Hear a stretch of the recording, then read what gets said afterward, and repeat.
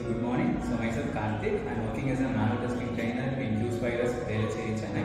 One of our student got placed in a company, which I'll be asking to explain his experience in Q Yes, please.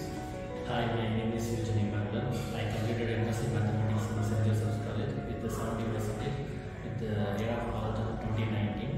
And I recently know about uh, QSpider. I'm looking for IT job. I'm uh, recently joining QSpider. After I uh,